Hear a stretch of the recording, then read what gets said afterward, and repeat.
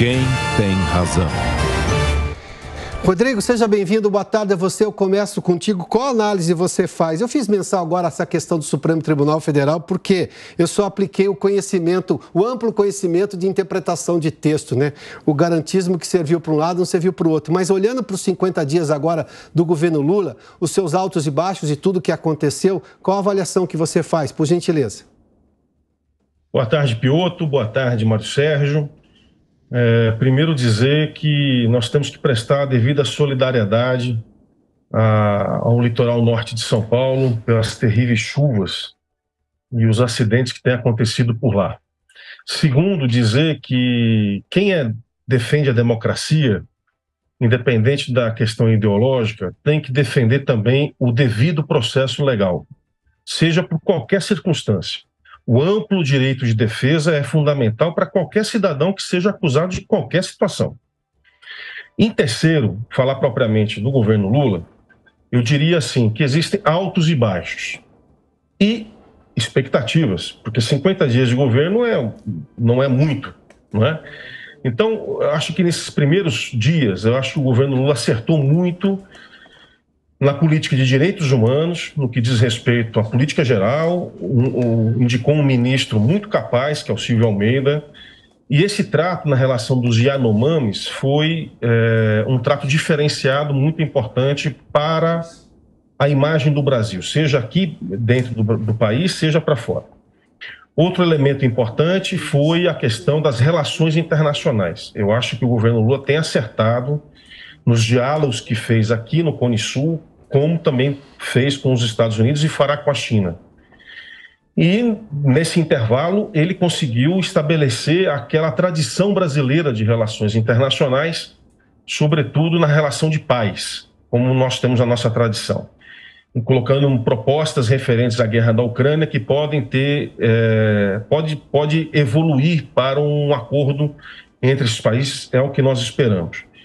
E na política, eu acho que o governo, ao defender a democracia a partir do dia 8, e principalmente a, a forma como ele está a, é, realizando a sua composição é, de bases é, no Congresso Nacional e na sociedade.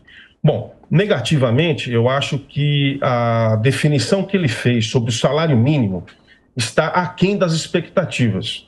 Houve um aumento maior do que já tinha sido apresentado anteriormente em 18 reais. Então o salário mínimo passa a 1.320, sendo que as centrais sindicais, as, as, os representantes dos trabalhadores aguardavam um, um aumento salarial um pouco maior, o que daria melhor condição de capacidade de compra da sociedade, o que evoluir, pode evoluir para um ciclo virtuoso da economia de é, consumo e depois de demanda. Então, acho que essa parte, essa, esse freio que foi feito no governo no começo, na apresentação do salário mínimo, acho que foi negativo, assim como eu acho que está sendo muito lerdo também a composição dos seus ministérios.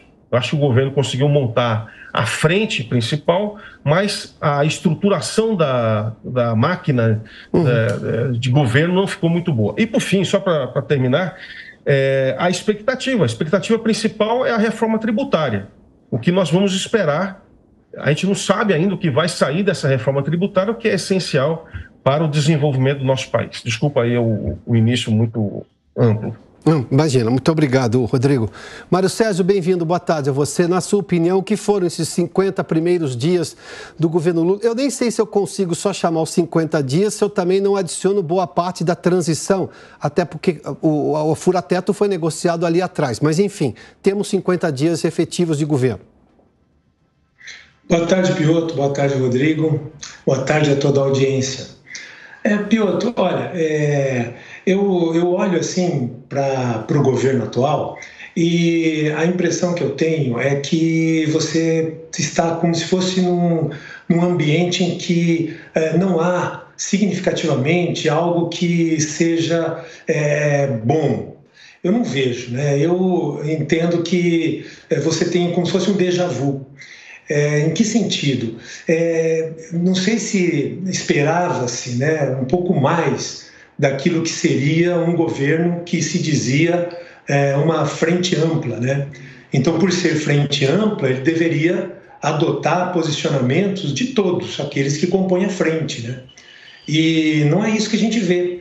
Eu percebo que esse governo atual ele remete muito mais ao Lula de 1989 do que ao Lula de 2002 e mesmo ao Lula de 2006 é, e até a Dilma de 2014, né, que vinha fazendo um governo que tinha um, um modelo econômico muito ruim, que estava levando o Brasil e levou o Brasil Sim. ao caos. E no segundo, em 2014, a reeleição da Dilma ela trouxe o Joaquim Levy, que foi uma tentativa de, de retornar ao equilíbrio, né, ao equilíbrio fiscal. O Joaquim Levy foi fritado pela Dilma mesmo, foi fritado pelo, pelo próprio PT no Congresso Nacional e deu no que deu. E aí nós brecamos ali com o impeachment do, da presidente. Então, é, eu me, me, pergunto, esse governo atual ele tem muito mais é, uma vinculação com algo que é como se fosse um discurso, um discurso da década de 80, é, que na verdade ele não é condizente com aquela modernidade que a gente sonha para o Brasil. E a gente vinha no Brasil numa trajetória muito é, próspera. E me parece que essa trajetória próspera agora está sendo é, vilipendiada. Então, isso na área econômica, né, Piotr? Para a gente ficar basicamente na área econômica. Mas eu vejo retrocesso em outras áreas também. Eu vejo retrocesso na segurança pública, eu vejo retrocesso na narrativa. Quando o presidente da República vai aos Estados Unidos, dá uma entrevista para uma rede de televisão e diz assim: não, Bolsonaro não vai voltar. Por quê? Porque nós vamos construir uma narrativa correta. Isso é complicado. Por quê? Porque construir narrativa quer dizer que o governo é de narrativas? A impressão que eu tenho é que o governo é de narrativas. Narrava-se o 8 de janeiro, o 8 de janeiro aconteceu, queria CPI, agora não quer mais. É, tem narrativas a respeito dos Yanomamis e tem narrativas também a respeito agora do cartão de vacinação do presidente, que é algo que ficou meio estranho. E abrir, não abriu, a fraude, disseram que a fraude, o, o ex-presidente contestou. É, por que isso? É o retrovisor? Para que falar tanto do presidente que, que passou? Então, esse é um grande problema. Me, me vejo perguntando sempre nessa direção. Rodrigo, vamos lá. Você fez menção a vários pontos, o Mário também. Na questão da justiça, especialmente, a gente está vendo a construção de vários aparatos de Estado para tolher liberdades de expressão. Por exemplo, essa tentativa aí, hoje já de alguma maneira está acontecendo, mas vai ter questionamento no Congresso Nacional sobre a Procuradoria em Defesa da Democracia, o que é preocupante. É, na Nicarágua, eles também usavam o mesmo discurso de proteção da democracia. Aliás, esse é um discurso de qualquer esquerda radical. Todo mundo chega defendendo a democracia e depois instala ali uma ditadura. Ah, não é diferente com qualquer ditador sob qualquer espectro. É impressionante como a democracia é vilipendiada, a expressão democracia é vilipendiada. A gente viu, por exemplo, a questão ah, dos sigilos. Ah, tudo era sigiloso no governo Bolsonaro, reclamava-se, e agora tem sigilo nas câmeras do Palácio do Planalto em relação àquele dia, do dia 8 de janeiro, sigilo na festa, inclusive, de posse do presidente Lula, enfim, essas coisas todas. Nós estamos falando de, de contradições. A questão econômica, eu preciso trazer aqui, até porque eu, eu converso com tanto o setor empresarial, o setor produtivo e o setor financeiro, eles têm a clara noção, e é incrível, inclusive gente mais ligada à esquerda, de que o governo não tinha planos para a economia, não entendia o momento do país atual e sequer da economia mundial. Daí essa demora em apresentar ideias factíveis. Enfim, o governo ficou um mês tratando da questão do dia 8, mas enfim, os outros ministérios podiam ter apresentado as áreas que são técnicas. É, é, em relação, você falou sobre a, a questão da Ucrânia, a, o chanceler alemão veio aqui e saiu completamente decepcionado ele ouviu do presidente Lula declarações sobre a guerra na Ucrânia que não tem absolutamente nada a ver com a realidade. Aliás, as declarações anteriores do então candidato Lula em relação à Ucrânia também foram infelizes. Como também, por exemplo, o mundo, a Europa reclamou de Bolsonaro também, porque Bolsonaro não deu exatamente uma citação muito dura em relação à invasão da Rússia, da Ucrânia pela Rússia, ou seja, mas não houve avanço nesse aspecto todo. É, onde é que dá para a gente melhorar tudo disso? Porque o Brasil está inserido na, na realidade internacional queiram não queiramos, isso vai acontecer. Mas, enfim, diante dessas questões todas, não há contradições desse governo? Veja só, eu acho que. Eu, eu, eu tenho acompanhado o projeto de lei sobre as fake news na Câmara dos Deputados, um projeto que chegou do Senado para a Câmara dos Deputados, e acho que o estudo que está sendo feito pelos parlamentares que se envolveram nesse tema parece sério, parece uma coisa que pode andar para frente, pode dialogar, inclusive, com as variadas preocupações que existem dentro do parlamento. O ministro da Justiça, Flávio Dino, tentou estabelecer um novo critério de, de um novo projeto de lei que depois recuou a partir de uma articulação feita que já tem uma tramitação no, no Congresso Nacional. Na Câmara dos Deputados precisa ser aprovado, votar uhum. É, o, a emergência para poder ser votado e, e adiante. Então, eu acho que esse, esse assunto está. Eu tenho a expectativa de que vamos evoluir sobre esse assunto, seja por todas as preocupações de todas as correntes que estejam envolvidos a esse, a esse tema. Sobre a questão internacional, é, tanto o governo anterior como esse governo e outros anteriores, é, tem, temos que estabelecer um, uma, uma forma do Itamaraty atuar no, no, no, campo internacional, que é o de ponderação. O, o, o Itamaraty sempre estabeleceu uma ponderação em todos os conflitos existentes no mundo. E é uma tradição da, da, da diplomacia brasileira. Não podemos perder isso. O que está sendo feito hoje, diferente do período anterior, é que há uma tentativa de protagonismo sobre as propostas na mesa, que podem evoluir para uma tentativa de paz. Que ninguém exatamente no mundo inteiro quer que isso continue, que essa guerra continue. Então, eu acho que o Brasil dá passos positivos em relação a, a tentar chegar a um senso comum. E quando você procura um termo de paz, você tem que levar em consideração os interesses de um lado e também de outro lado. Não basta ser de um lado, porque senão você não vai conseguir alcançar os objetivos necessários. Então, acho que nós estamos no caminho certo.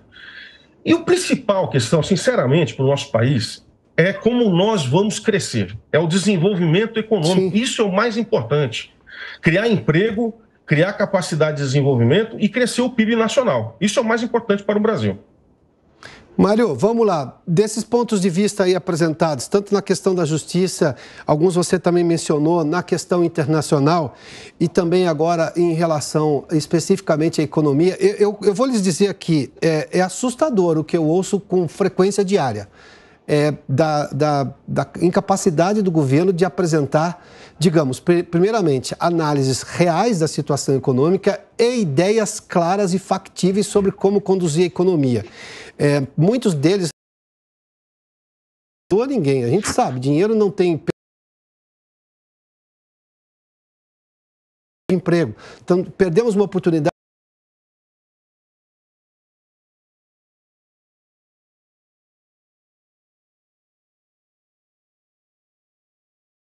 Pontos de vista, eu converso com gente do Planalto.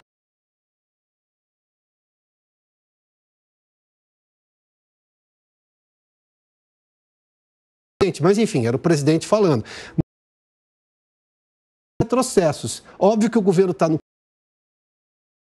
Sejamos justos, tem muita coisa a mostrar ainda, mas muita coisa que poderia não ter acontecido aconteceu e por obra e graça do próprio presidente da República. E, e aí a gente fica imaginando quem. Aliás, a, a frase que eu usei de um dos assessores é: ninguém controla o Lula. É terrível o negócio desse, nós estamos falando do país, né? É, porque, na verdade, Piotr, esse negócio de estar nos 50 primeiros dias é, deveria ser o contrário. Porque nos primeiros 50 dias é que você tem a apresentação daquilo que você propôs. Então, Isso, Mário, você está dizendo, né?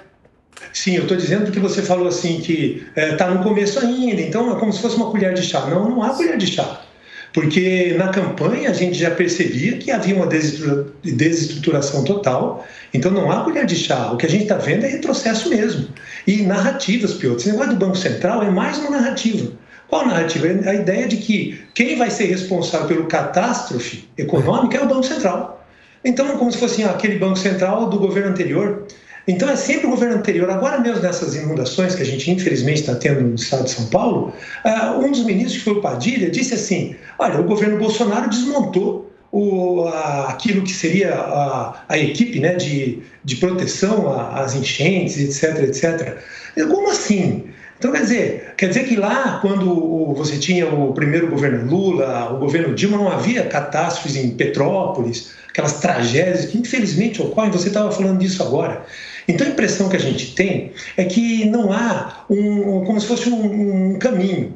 É isso que eu sinto. Nós temos um governo que chegou, um governo que está interessado em fazer política, mas é aquela política antiga, por isso que tem um monte de ministérios, por isso que, na verdade, loteia cargos, por isso que não quer nomes técnicos. Então a gente tem algumas, é, alguns pontos, mas sempre no sentido de que é, a máquina pública ela é como se ela não tivesse norte. Esse é um grande problema, Piotr. Por quê? Porque 50 dias é o suficiente para você já ter é, o caminho traçado, para você ter as linhas. E não me parece que é isso que eu vejo. Eu vejo problema segurança pública, a questão do desencarceramento, a questão uhum. de ficar batendo aí nesse negócio de decreto de armas, etc. Mas cadê os, o, o, grande, o criminoso, o, o, o traficante, as armas do traficante, o combate efetivo à violência? A gente não vê. A gente só vê discurso, esses discursos que, na verdade, levaram ao caos. Então, a gente viu que no governo Bolsonaro, a gente teve diminuição da, da violência. E agora? Como é que isso vai ficar? Fazendo esse discurso de desencarceramento e, e, e, outras coisas muito, muito trágicas, Piotr, que você levantou aí, que se eu ficar falando a gente vai muito longe, mas vamos lá. Por exemplo, o 8 de janeiro. O 8 de janeiro está mal explicado. Esse governo, ele conta com mais de 700 pessoas presas, sem o devido processo legal, sem individualização das penas e de forma pérfida, ou seja, houve perfídia. Por quê? Porque essas pessoas foram levadas para ônibus dizendo assim: olha, vocês vão ser removidos daqui e foram presas. Isso fere a Convenção de Genebra. Então, são várias coisas, Piotr, que a gente precisa dar uma olhada. Por isso, da CPMI, que pode vir aí e que deveria vir. Por quê? Porque nós temos presos políticos. São todos que são presos políticos? São aqueles que estavam na frente do quartel, que faziam manifestações, que não estavam contentes com a eleição do ano passado e que pediam alguma coisa. Não necessariamente intervenção militar. Esse indivíduo pode estar preso. Então, ele está preso por suas opiniões. Isso é muito perigoso, Piotr. Então, nós temos algumas coisas sérias que precisam ser resolvidas, ser trazidas à tona. Então, é isso que a gente tem assim visualizado agora nesse início de governo. Uhum. Olha, eu, eu, tenho o privilégio aqui de ter dois cientistas políticos que têm opiniões divergentes em algumas coisas, mas isso quer dizer que nós temos um debate livre aqui. É, e aí eu vou, meu, último questionamento aos senhores é justamente sobre isso. Se eu olhar e eu estou nessa vida de jornalismo há 31 anos, todas essas pessoas que estão no poder uh, hoje, todas, provavelmente eu não tenho nenhuma exceção, todas se beneficiaram desse aparato de liberdade de expressão que temos no país desde os anos 80 e que a Constituição de 88 colocou no papel de forma muito clara. Ah, de repente, tudo isso parece que não pode mais existir. E aí a gente está tendo esse caso, por exemplo, das pessoas que foram perseguidas durante a eleição, parlamentares. Senhores, eu preciso dar um depoimento aqui. Parlamentares chegaram a dizer para mim que a gente convidava parlamentares para participar de debates aqui, eles diziam, eu não estou me sentindo seguro em te dar uma entrevista. E olha que você sabe exatamente o nível do debate que fazemos aqui, porque se sentiam ameaçados pelo poder do Supremo Tribunal Federal o que é uma coisa muito preocupante. Daí, Rodrigo, eu quero te ouvir sobre dois aspectos. Primeiramente, como é que a gente vai lidar? Você fez menção, por exemplo, à questão do, do debate das fake news que está no Congresso, e é importante que esse debate aconteça, porque é o Congresso quem tem que decidir isso, é ele que tem essa prerrogativa constitucional. Mas como é que você imagina que a gente vai tratar dessa lógica democrática que nos foi extremamente útil até aqui, e de repente alguém está achando que não tem que ser mais? Isso é muito ruim. E como é que você vê a relação do executivo? Executivo com os outros dois poderes neste governo Lula, ou pelo menos nesse começo de governo Lula? É a mesma pergunta que faço a você agora e vou fazer ao Mário depois, por gentileza. Eu acho que cada, cada poder tem o seu, o seu a sua devida responsabilidade. Então, quando nós falamos, por exemplo, da, dos projetos de lei ou das expectativas de mudanças legais para suprir uma necessidade contemporânea, necessária, é, é o Congresso Nacional que tem que responder. Quando você diz que o executivo tem que tomar as iniciativas necessárias para o enfrentamento de todos os desafios, como desenvolvimento econômico, ou, enfim, como todas as outras é, uhum. demandas existentes, também é responsabilidade do Poder Executivo.